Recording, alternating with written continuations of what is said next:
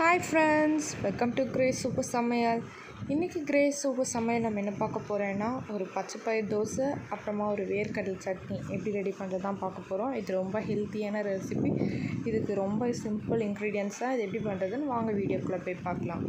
இதுக்கு நான் வந்து ஒரு கப் வந்து பச்சைப்பயிர் எடுத்து வச்சுருக்கேன். முழு பச்சைப்பயிர் தான். நீங்கள் வந்து உடச்ச பச்சைப்பயிர் கிடச்சா அது கூட வாங்கிக்கலாம். இது வந்து முழு பச்சைப்பயிறு இப்போ நான் வந்து இது ஒரு க ஒரு கப் பச்சைப்பயிரை வந்து ஊற வைக்கணும்.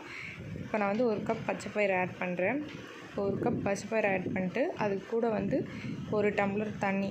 அதை ஊற்றி வந்து ஃபஸ்ட்டு வந்து ஒரு நம்ம ஒரு வாட்டி நல்லா சோக் பண்ணிக்கலாம். நல்லா ஒரு வாட்டி சோக் பண்ணிவிட்டு அதை வந்து நல்லா ஒரு வாட்டி சோக் பண்ணிக்கோங்க. ஒரு வாட்டி பண்ணால் போதும். இப்போ வந்து நல்லா சோக் பண்ணிட்டேன். இப்போது திருப்பி வந்து ஒரு டூ டம்ளர்ஸ் போல் தண்ணி ஊற்றி ஒரு டூ ஹார்ஸ் மட்டும் நல்லா ஊற வச்சுருங்க. இப்போ நான் வந்து டூ ஹார்ஸ் நல்லா ஊற வச்சிட்ருக்கேன் இப்போ டூ ஹார்ஸ்க்கு அப்புறமா இதுக்கு வந்து அரை கப் வந்து அரிசி எடுத்துக்கோங்க. நம்ம நார்மல் வந்து சாப்பாடு அரிசி தான். இப்போ வந்து டூ ஹார்ஸ்க்கு அப்புறம் நல்லா ஊறி இருக்குது பார்த்தீங்களா? இந்த மாதிரி ஊறி இருக்கும். இப்போ வந்து நான் வந்து அரிசி ஆட் பண்ணுறேன் அரை கப் அரிசி. ஒரு கப் பச்சை பயிறு அரை கப் அரிசி ஆட் பண்ணிக்கோங்க. இப்போ இது அகைன் வந்து இதை வந்து சோப் பண்ணிக்கோங்க. ஒரு வாட்டி சோப் பண்ணிவிட்டு திருப்பி வந்து ஒரு டூ ஹார்ஸ் வந்து இது நல்லா ஊற வச்சுருங்க. இப்போ வந்து நான் தண்ணி ஆட் பண்ணுறேன் இப்போ தண்ணி ஆட் பண்ணிவிட்டு ஒரு டூ ஹார்ஸ் வந்து இதை திருப்பி ஊற வச்சிடணும். இப்போ நான் ஊற வச்சுட்டு அதுக்கப்புறம் வந்து இது கூட வந்து இது கூட வந்து கொஞ்சமாக வந்து ஒரு பத்து போல் பத்து போல் தான் வெந்தயம் ஆட் பண்ணும் ஒரு பத்து போல் வெந்தயம் ஆட் பண்ணிக்கோங்க. டூ ஹார்ஸ் ஊறட்டும். நான் அரைக்கும் போது காட்ட முடியல. இப்போ நான் அரைச்சி எடுத்துகிட்டு வந்துட்டேன் பாருங்கள் இந்த மாதிரி நல்லா நையாக அரைச்சிக்கோங்க. இது கூட வந்து சின்னதாக வே நறுக்குனா வெங்காயம். ஒரு வெங்காயம் வந்து நல்லா சின்னதாக நறுக்கிக்கோங்க. பச்சை மிளகாவும் இந்த மாதிரி சின்னதாக நறுக்கிக்கோங்க. ஒரு ஸ்பூன் உப்பு. இப்போ இந்த மாதிரி அரைச்சி வச்சுருக்கதை இது கூட ஆட் பண்ணிக்கோங்க. இந்த மாதிரி ஆட் பண்ணிவிட்டு இப்போ ஃபுல்லாக ஆட் பண்ணிக்கோங்க. ஒரு வெங்காயம் கரெக்டாக இருக்கும். ஒரு வெங்காயம் நல்லா சின்ன சின்னதாக நறுக்கிக்கோங்க. பெருசாக நறுக்கக்கூடாது. சின்னதாக நறுக்கிக்கணும். இந்த மாதிரி மிக்ஸ் பண்ணி விட்டுருங்க. நல்லா மிக்ஸ் பண்ணி விட்டுட்டு இப்போ நம்ம தோசை தான் செய்ய போகிறோம் இப்போ வந்து இட்லி கூட இதில் இதே சேம் மெத்தட் தான் இட்லி கூட செய்யலாம். சூப்பராக இருக்கும் இட்லி கூட.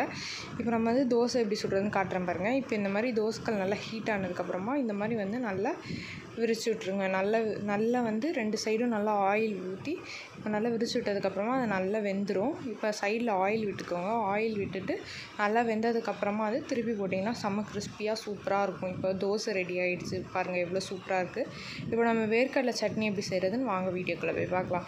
இதுக்கு வந்து ஒரு சின்ன துண்டு வந்து புளி எடுத்துக்கோங்க. அது கூட வந்து ஒரு நாலஞ்சு பச்சை மிளகாய் எடுத்துக்கோங்க. காஞ்ச மிளகாய் நாலஞ்சு காஞ்ச மிளகாய்.